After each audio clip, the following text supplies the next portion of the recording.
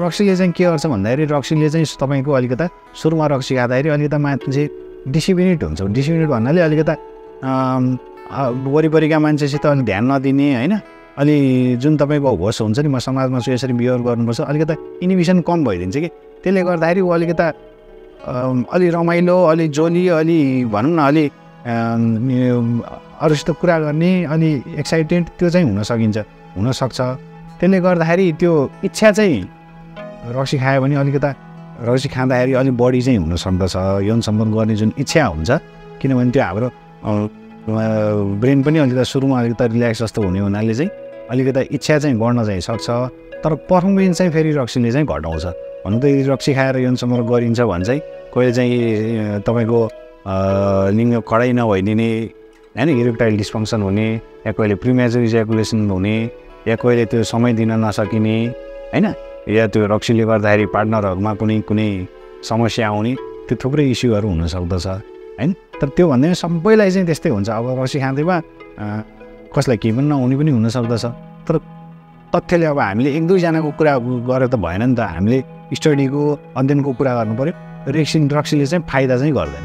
छैन छैन। रक्सीले त्यस्तो यौन सम्पर्क रक्सी खाएर यौन सम्पर्क गऱ्यो भने एकदम लामो यौन सम्पर्क हुने यौन सम्पर्क गर्दा एकदम रमाइलो हुने भन्ने त्यस्तो केही पनि छैन। रक्सीको जुन अब भनौँ न यो एउटा सब्सटेन्स हो एउटा नसालु पदार्थ हो त्यसले जुन अब दिमागलाई गर्ने जुन असरहरू छ जुन एकछिन खाँदाखेरि मान्छे अलिकता डिसिमिनेट भइदिन्छ अलिकता अरू अरूको ख्याल नगर्ने अलिक रिल्याक्सेसन फिल हुन्छ त्यसले गर्दाखेरि अलिकता मजा आउला अलिकता चाहना चाहिँ बढ्ला। तर मैले भनिहालेँ नि यदि त्यो क्रियाकलापमा चाहिँ रक्सीले चाहिँ झन् नेगेटिभ असर गरिरहेको हुन्छ कि एकचोटिको मात्रै कुरा होइन नि त। यो त तपाईँको डेली रक्सी खाएर त्यसो गरिन्छ भने पछि लङ टर्ममा पनि त्यसले असर गर्न सक्छ। होइन? त्यो रक्सी खाएर लामो गर्न सकिने लामो सम्पर्क गर्न सकिने या धेरै बेर टिक्न सकिने होइन? या महिलालाई धेरै खुसी पार्न सकिने भन्ने यस्तो कहीँ पनि लेखाएको छैन यो कहीँ पनि छैन। अब कोही व्यक्तिगत रूपमा कसैलाई त्यस्तो गर्दा अलिकता एक्सपिरियन्स त्यस्तो पर्या हुनसक्छ। त्यो रक्सीले नभएर अरू कुराहरूले पनि हुनसक्छ।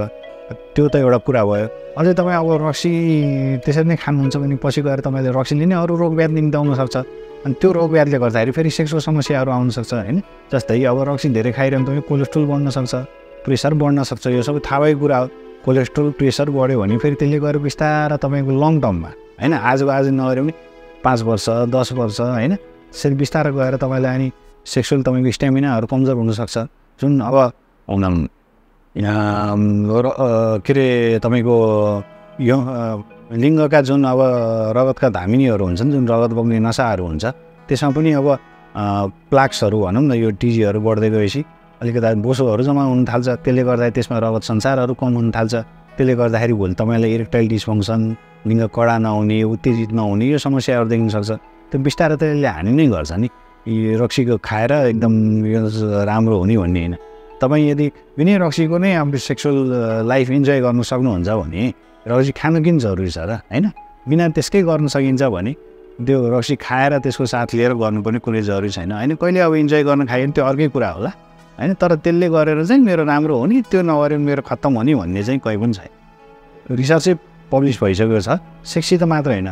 No amount of alcohol is helpful भनेर भनेको कुनै मात्राको अल्कोहल पनि शरीरको कुनै चिजको लागि पनि फाइदाजनक छैन रे भनेर भनौँ न नट ओन्ली सेक्स मुटुलाई कलेजोलाई तपाईँको आँखालाई नसालाई कुनै पनि अङ्गको लागि कुनै पनि एमाउन्टको अल्कोहल कुनै पनि मात्राको अल्कोहलले चाहिँ फाइदा गर्दैन भनेपछि त्यसमा त सेक्स पनि पऱ्यो रक्सी खाएर सेक्सुअल लाइफ राम्रो हुने भन्ने यो धारणा चाहिँ होइन।